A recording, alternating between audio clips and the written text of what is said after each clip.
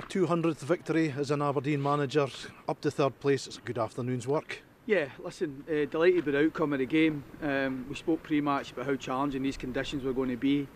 Um, not only had the, the wind to contend me, but the pitch totally dried out. It was a bit dry and bobbly and really difficult for the players. Both sets of players, it was a challenge.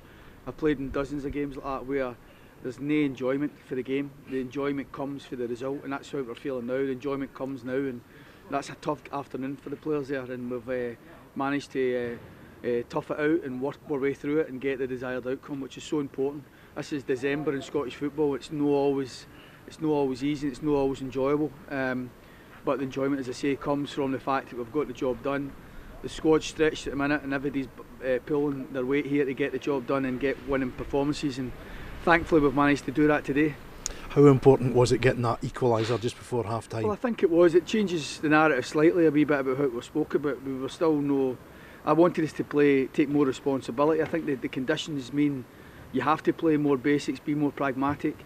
Um, and uh, be more responsible and make sure we don't um, cause our own problems. And that was totally what we did for the goal. You know, we, we um, were no right from the throw in. We give away a needless free kick. It allows St Johnstone yet again another chance to sail a ball into our box.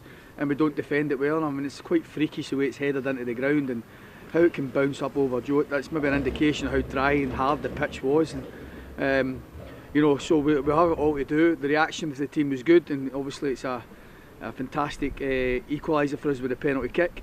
Um, and you know, the penalty, I'd be disappointed if I was Callum. I'd be disappointed with the actual decision. I'm equally as frustrated and disappointed that the handball wasn't given prior. I mean, we've been the victim of that uh, on numerous occasions and um, and only recently. So, you know, that for me is a handball in the true sense of the word. If that's what we've been given against, so although he never gave it for that, um, you know, I can understand maybe Callum's frustrations. We all haven't been the victim of that. Um, half time we spoke about um, being more responsible, dealing with the conditions better, being more pragmatic, being more aggressive over. We switched Matty and Jonny around just to try and get a wee bit more impetus to drive in the pitch to try and get a wee bit more of a flow because we were totally dependent on getting those crosses in and I felt we were a wee bit stodgy. Uh, I think Jonny and Matty both enjoyed playing on their opposite sides and I thought we started the second half brilliantly and got our um, deserved second goal and from then on in up until the last throw in from them, the long throw in uh, with Rhys Davy nearly next one.